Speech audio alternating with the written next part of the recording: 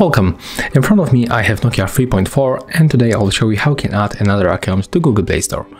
Let's open Play Store, tap on the right upper corner and then click to add another account. Right now we have to make biometric security, then input your email,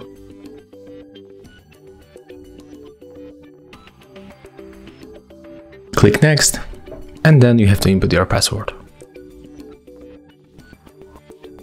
After that you have to click on the next in the right bottom corner, then go for the agree.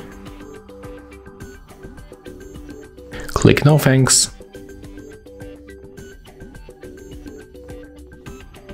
And as you can see, after a few moments, uh, we are able to switch between accounts and it was very easy, right? Thank you guys for watching, leave thumbs ups, comments and subscribe to our channel.